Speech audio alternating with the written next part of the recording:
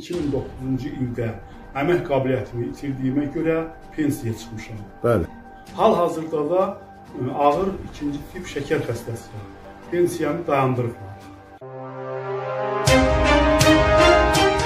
Kanalımıza Ağdam rayon sakini Cəlil Baxşəliyev müraciət edərək bildirir ki, o uzun illər öncə şəkər xəstəliyinə düçar olub və 2009-cu ildən 2021-ci il iyul ayına qədər pensiya aldığını deyir.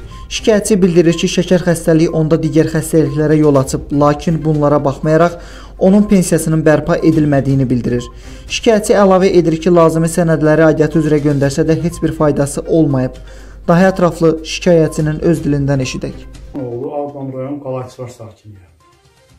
Hal-hazırda ha, Bərdə rayonunun 866 saylı qəsəbəsinin 4-cü bina 50-ci mənzilində yaşayıram. 2009-cu ilə qədər e, şəkər xəstəsi kimi olmuşam. 2009-cu ildə əmək qabiliyyətimi itirdiyimə görə pensiyaya çıxmışam. Bəli. şəkər xəstəsi olaraq və bu illərdə mən şəkər xəstəsinə olduğuma görə şəkər xəstəsi məndə müəyyən fəsadlar yaradıb. Ürək çatışmamazlığı, ürək çatışmamazlığı dəfələrlə Bakı şəhərində və respublikanın müəyyən rayonlarında müalicə almışam.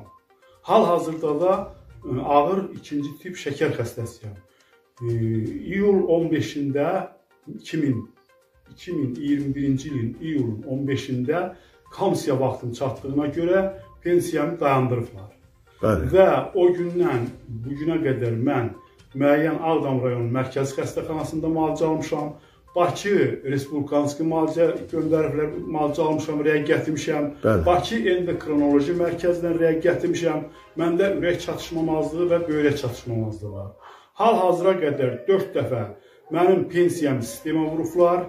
Dəfələrlə e, e, hörmətli prezidentimiz İlham Əliyevə müraciət eləmişəm, müəyyən yerlərə müraciət eləmişəm. 4-cü dəfə mənə natamam gəlibdi. Bu qədər sənədlərlə, bu qədər baxlar yazmışam. Hələ də bu günə qədər mənim xəstəliyimi nəzərə alıb təsdiq eləmirlər əliliyimi. Səbəb gətirirlər ki, yenidən Respublikanski bankaya getməlisən, hansı ki mən yayda orada müalicə almışam, oradan rəy gətirmişəm. Səbəb budur.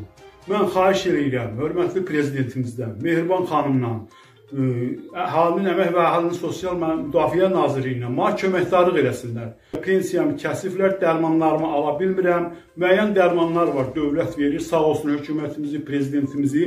Müəyyən dərmanlar ürəyimə və böyrəyimə aid olan dərmanları ala bilmirəm. Xahiş edirəm, mənə bu işdə köməkdarlıq eləyəsin. Məsələ ilə bağlı Əmək və Əhalinin Sosial Müdafiəsi Nazirliyinin tabeliyində Dövlət Tibbi Sosial Ekspertiza və Reabilitasiya Agentliyinə sorğu ünvanlasaq da sorğumuz cavabsız qaldı.